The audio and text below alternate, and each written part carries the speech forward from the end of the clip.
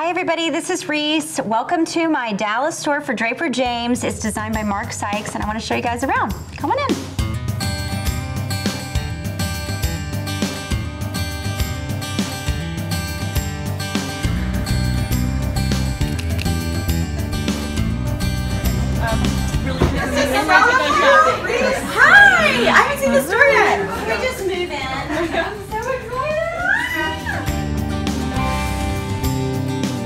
I got to Dallas and we just hit the ground running. I started the morning with coffee, lots of coffee. And we've been talking at Today Show and doing interviews with lots of different outlets. I got to see the store for the first time, which was really exciting. I'd been seeing a lot of pictures of it, but this is my first time walking through and touching everything. We have a lot of Southern sayings around the store. Southern people have their own vernacular and they say all kinds of funny things. Things like, give me some sugar, this little bag that says put your face on. That's what my grandmother used to always say. We put howdy on some stuff. We say y'all a lot, so we put y'all on pretty much anything that wasn't moving. We put a y'all on it. I just like to incorporate those kind of little pieces of humor because life and fashion doesn't have to be so serious.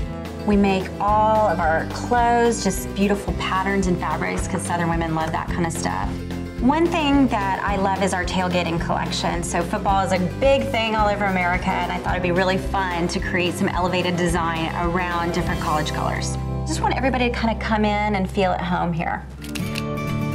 I'm gonna meet some bloggers after this. Welcome to Dallas, Draper James. Dallas area girls who have great style and great taste. We want to help get them dressed so that they can talk about the brand and let everybody know that we're a Southern company and here to dress them. I always love to see, you know, how people put their own flair on things. I find it's really nice to be able to communicate directly with fans. I'm a people person, so I love talking to people, and I think social media is like the telephone. It's just a long time ago they invented the telephone, and now they've invented social media. Then we have a big event with Girls Inc., which is an organization that does education programs for young girls um, in junior high and, co- and high school. Everybody at Girls Inc.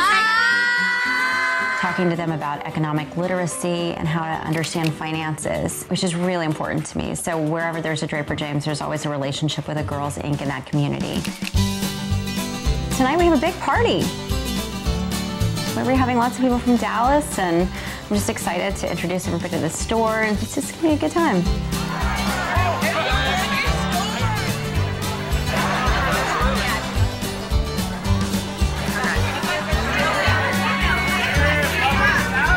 feel like I'm part of the community. So thank you for being so incredibly friendly.